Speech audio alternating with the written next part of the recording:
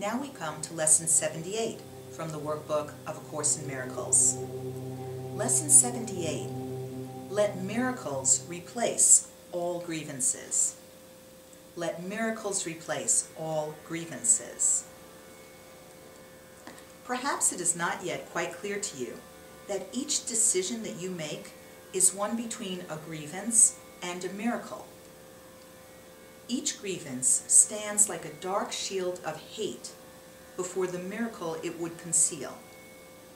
And as you raise it up before your eyes, you will not see the miracle beyond. Yet all the while, it waits for you in light, but you behold your grievances instead.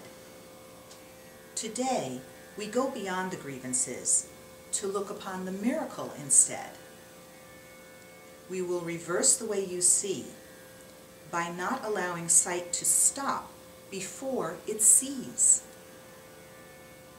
We will not wait before the shield of hate, but lay it down and gently lift our eyes in silence to behold the Son of God.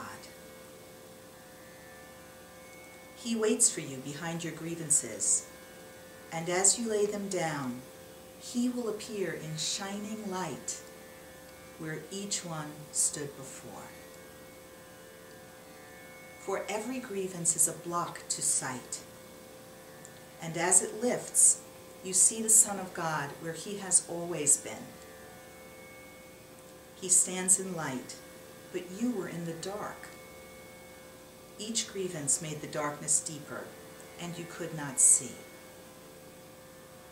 Today, we will attempt to see God's Son. We will not let ourselves be blind to Him. We will not look upon our grievances. So is the seeing of the world reversed as we look out toward truth, away from fear. We will select one person you have used as target for your grievances and lay the grievances aside and look at him. Someone perhaps you fear and even hate. Someone you think you love who angered you.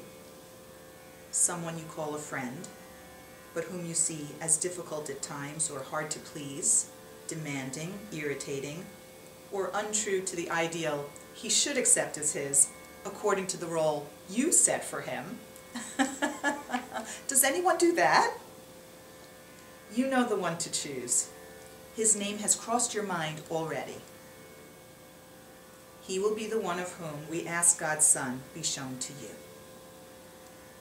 Through seeing him behind the grievances that you have held against him, you will learn that what lay hidden while you saw him not is there in everyone and can be seen.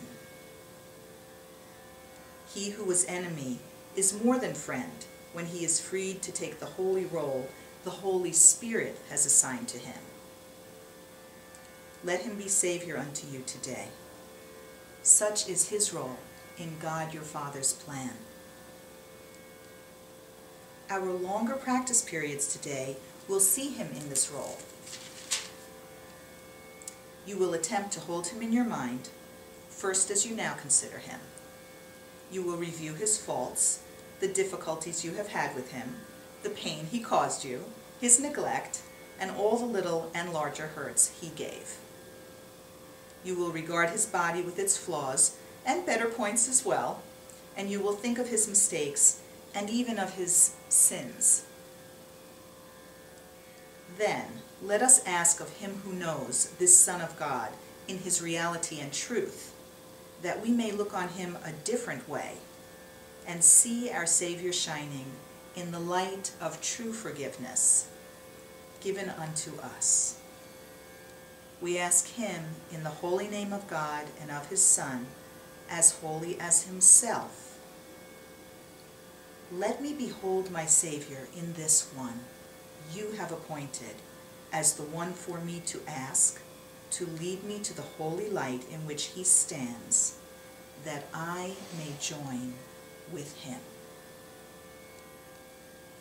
The body's eyes are closed, and as you think of him who grieved you, let your mind be shown the light in Him beyond your grievances. What you have asked for cannot be denied. Your Savior has been waiting long for this. He would be free and make his freedom yours. The Holy Spirit leans from him to you, seeing no separation in God's Son. And what you see through him will free you both. Be very quiet now and look upon your shining Savior. No dark grievances obscure the sight of him. You have allowed the Holy Spirit to express through him the role God gave him that you might be saved. God thanks you for these quiet times today in which you laid your images aside and looked upon the miracle of love the Holy Spirit showed you in their place. The world and heaven join in thanking you, for not one thought of God but must rejoice as you are saved and all the world with you. We will remember this throughout the day and take the role assigned to us as part of God's salvation plan and not our own. Temptation falls away when we allow each one we meet to save us and refuse to hide his light behind our grievances.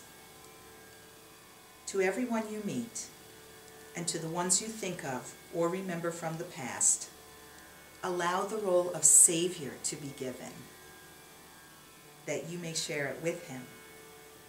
For you both, and all the sightless ones as well, we pray let miracles replace all grievances. That's lesson 78. Let miracles replace all grievances. If you'd like to read my commentary on the workbook this year, go to amytorresacim.com and click on Amy's blog. Namaste.